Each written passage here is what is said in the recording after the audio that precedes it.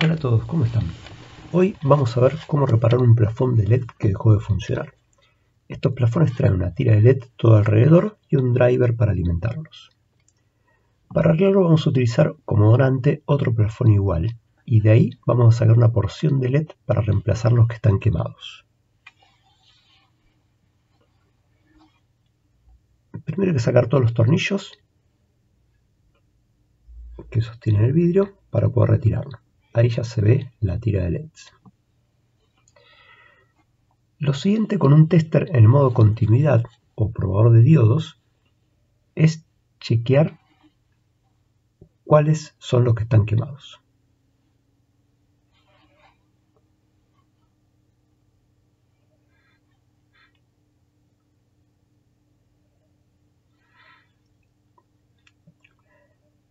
Acá encontramos los LED quemados. Cuando vamos probando vemos que se encienden de a 5 a la vez. Así que tenemos que ir probando los bloquecitos de 5.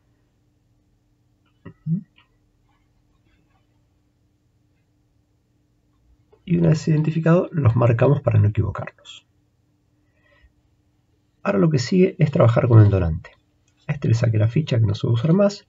Y ahora empiezo a buscar en la tira donde hay un bloque de 5 LEDs sanos.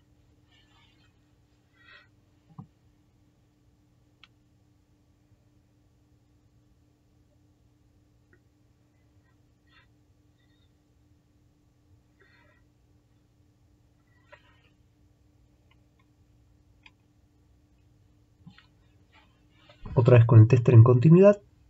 Ahí vemos que marca continuidad de los dos lados, esos están quemados.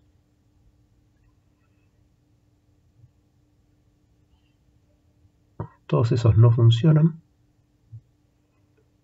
Y a partir de ahí encontré un bloquecito que sí funciona. Lo marco para no equivocarme porque ahora hay que cortar.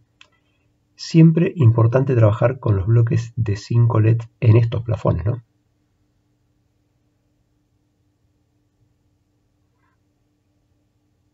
Ahí está, los 5 que vamos a utilizar.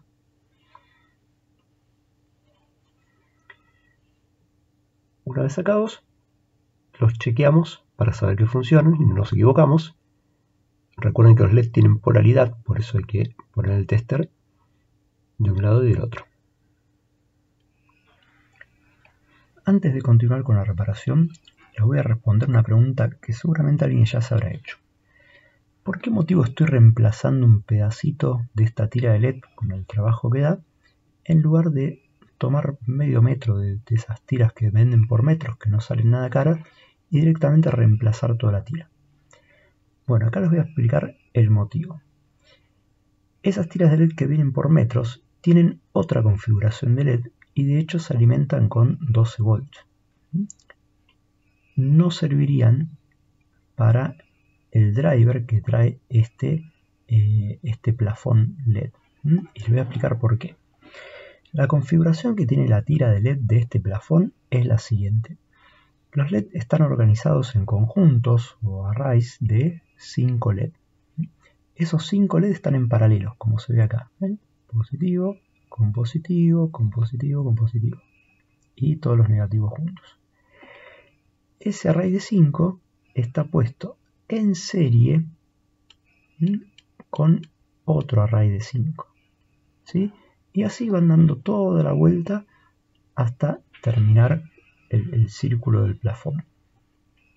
Vamos a ver este mismo dibujo de otra forma, para que se entienda mejor. Esto es lo mismo, nada más que dibujé los LED en paralelo así para que se vea bien claro cómo están, cómo están unidos. Si en esta configuración que trae esta tira LED, si uno de estos LED se quema, ¿qué es lo que va a pasar? Imagínense, al estar estos 5 en paralelos, si este se quema, estos 4 LED siguen funcionando. No va a ser un impedimento porque no se corta el circuito. El positivo que viene por acá sigue llegándole a este LED, a este otro, a este otro, a este otro, y sigue saliendo por acá, hacia hasta llegar al negativo. Entonces, no se interrumpe el camino. Yo puedo, se me pueden quemar dos LED, que va a seguir funcionando. Pero ¿qué es lo que va a pasar? Al quemarse estos dos LEDs, la corriente que antes se dividía entre 5, ahora se va a dividir entre 3. O sea que lo que estos dos LEDs consumían, ahora ya no lo van a estar consumiendo y le van a estar cayendo. Le va a estar cayendo más corriente a estos otros tres. Entonces, ¿qué va a pasar? Cuando se queme un LED, enseguida se va a quemar otro y enseguida se va a quemar otro y más probable que muy rápidamente se quemen los otros dos. Entonces, es por eso que nosotros en estas tiras LED nos encontramos con los 5 LED quemados y ahí dejó de funcionar. Entonces decimos, ¿qué pasó? ¿Se quemaron los 5 juntos? No, seguramente se quemó uno, después otro, después otro. Pasa que, eh, como es muy poca la diferencia que vamos a notar con un solo LED quemado, no nos damos cuenta. Nos damos cuenta recién cuando los 5 LED se quemaron. Entonces ahí, ¿qué pasa? Si estos 5 LED se queman, ya no hay quien una esta parte con esta parte. ¿Sí? Pues están todos quemados. O sea que el positivo que venía por acá no puede pasar a este lado. Es como si yo cortara este cable. No puede pasar a esta otra tira, a este otro conjunto de 5 para después llegar al negativo. O sea que se interrumpe el circuito cuando se queman los 5 LED. Por eso que nosotros tenemos que reemplazar estos 5 enteros. Bien, ¿por qué motivo eh, esta tira LED tiene esta configuración? El motivo es el siguiente. Los LED eh, que tiene esta tira son LED que tienen una alimentación de 3 volts y un consumo entre 15 y 20 mA. Entonces, quien diseñó el plafón dijo, eh, sabiendo que cuando nosotros ponemos los LED en serie, el voltaje se suma, necesito, si yo tengo dos LED de 3 volts, para poder encenderlos necesito 6 volts. Y el amperaje se mantiene. O sea que para encender dos LED de estas características en serie necesito entre 15 y 20 mA y 6 volts. Ahora, si esos dos mismos LED los pongo en paralelo, voy a necesitar solamente 3 volts, porque en paralelo el voltaje se mantiene, pero voy a necesitar más miliamperes. ¿Sí? Voy a necesitar entre 30 y 40 miliamperes. Entonces, jugando con esto, es que el fabricante dice, bueno, a mí que me conviene. Me conviene tener un transformador que tenga más voltaje y menos amperaje, por un tema económico. ¿sí? Eh, entonces, por ese motivo, ¿qué es lo que hace? Dice, bueno, yo pongo estos 5 en paralelo, con lo cual, al estar en paralelo, mismo voltaje, con 3 volts, alimento a estos 5. Y lo que sí voy a tener que sumar es el amperaje, el consumo de cada uno. Este array de 5 LEDs, o conjunto de 5 LEDs, va a consumir entre 75 y 100 mA. Ahora, ¿qué pasa si yo lo, lo pongo en serie con otro conjunto como este. Si yo lo pongo en serie, tengo que sumar el voltaje, o sea que ya para alimentar a estos dos conjuntos yo no me alcanza con 3 volts, sino que tengo que hacer 3 más 3, necesito 6 volts, pero ¿cuánto amperaje necesito para alimentar a estos dos conjuntos? Entre 75 y 100. ¿Sí? Con lo cual, yo puedo ir agregando conjuntos de 5 en serie y lo que voy a estar sumando es voltaje. ¿Por qué? Porque el amperaje se mantiene igual. Entonces, por ese motivo, van a ver que estos drivers vienen de 87, 100 volts. ¿Por qué? Porque son varios conjuntos de 5 LED que van alimentando a toda la vuelta. ¿sí? Tengo 5, más 5, más 5, más 5 cada 5 voy sumándole 3 volts. 3, 6, 9, 12. Así llega como, a 87 volts, supongamos. Y el amperaje es bajo, entre 75 y 100 mA, lo que necesito para alimentar a todos estos LEDs. Entonces, bueno, esta es la aplicación teórica de cómo funciona el plafón y por qué motivo yo no puedo cambiar directamente esta tira por otra, porque tendría que ser otra tira que cumpla esta configuración que tiene acá, ¿sí? de, conjuntos de 5 LED y 5 LED con estas características, porque también hay LED que consumen más y LED que se alimentan con distinto voltaje. Los de las lámparas LED a veces se alimentan con 18 volts. Entonces eh, hay muchos tipos de LED.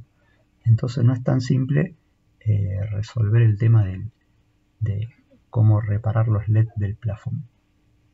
Así que bueno, sabiendo esto, seguimos adelante con la reparación. Lo que sigue ahora es sacar de la tira los 5 que marcamos que estaban quemados. Este es el plafón bueno. Vienen pegados de atrás con una cintita bifaz. Así que los separamos y cortamos.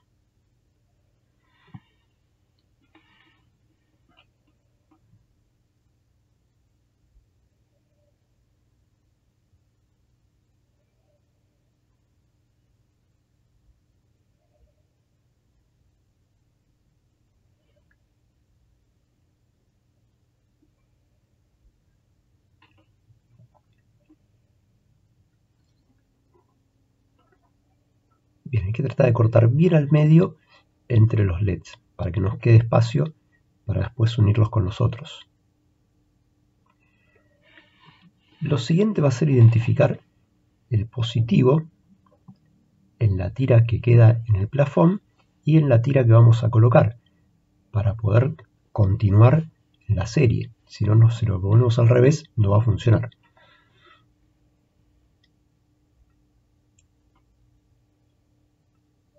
Vemos que del lado izquierdo, digamos, en mi mano izquierda está el positivo. Lo marco y después lo voy a colocar con el positivo que marqué del otro lado. Lo siguiente es, de la parte del frente de los LEDs, quitarle un poquito la pintura, la pintura blanca, para después poder unirlos, hacer un puente en las tiras. ¿Sí? Este bloque de 5 hay que unirlo de los dos lados, con, la tira que va y la que viene. Entonces, con mucho cuidado, le sacamos un poquito la pintura para que agarre el estaño.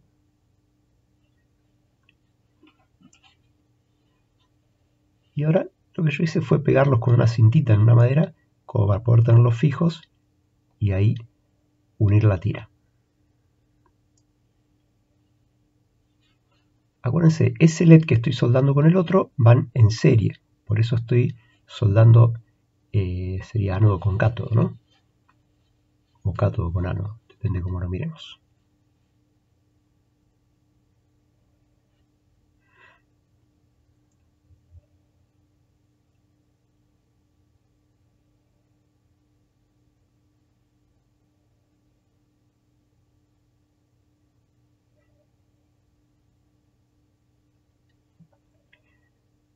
Hacemos lo mismo del otro lado de la tira. Despintamos un poquito.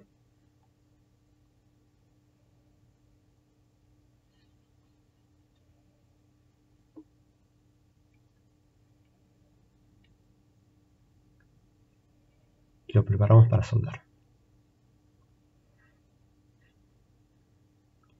Ahí, insisto, importante que hayamos identificado el positivo para saber de qué lado poner la tira. Igualmente esta tira en particular tenía una parte de arriba que era un poquito más ancha que la de abajo.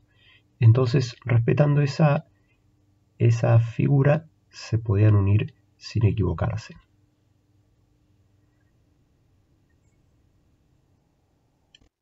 Ya quedó unido, esta soldadura quedó mejor que la anterior. Y ahora lo que queda es volver a colocarlos en la posición que estaban.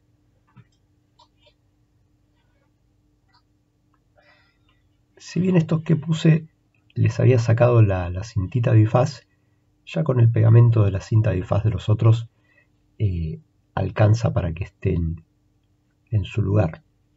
Teniendo en cuenta que después al poner el vidrio los va a mantener, no los va a dejar moverse. Por las dudas, antes de armar, vamos a conectar el driver y los vamos a probar.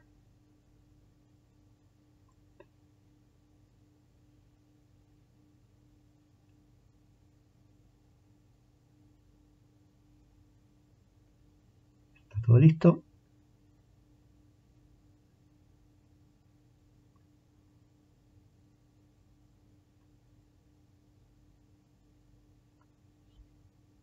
Para evitar que se toquen los cables.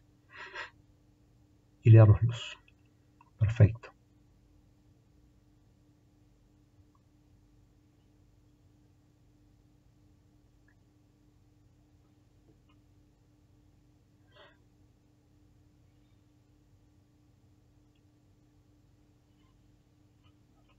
Listo, ahora queda armarlo nuevamente.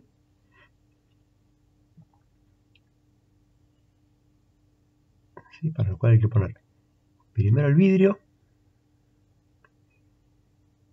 después esa especie de difusor, el plastiquito ese refractante, que la función que cumple es que la luz de los LED se vayan repartiendo bien por todo el vidrio. Por último la tapa que sostiene todo.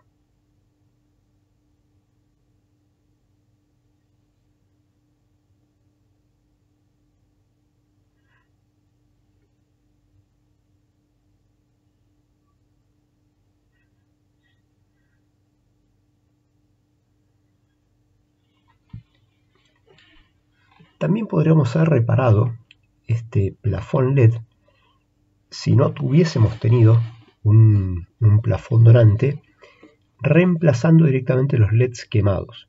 Es un trabajito un poco más eh, delicado, ¿sí? pero también es posible. Eso lo podemos hacer cuando no tenemos un plafón donante, entonces no podemos cambiar una tirita de 5. Lo que tendríamos que hacer es en ese caso reemplazar los 5 LED por otros de las mismas características en la misma tira. Eso se los voy a mostrar en otro video. No olviden suscribirse, darle like para que pueda ir avanzando el canal.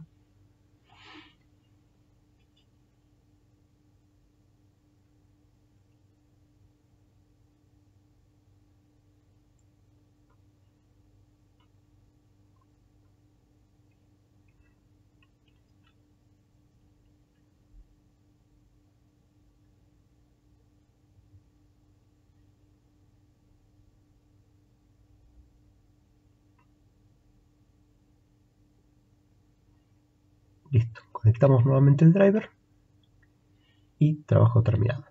Nos vemos en el próximo video.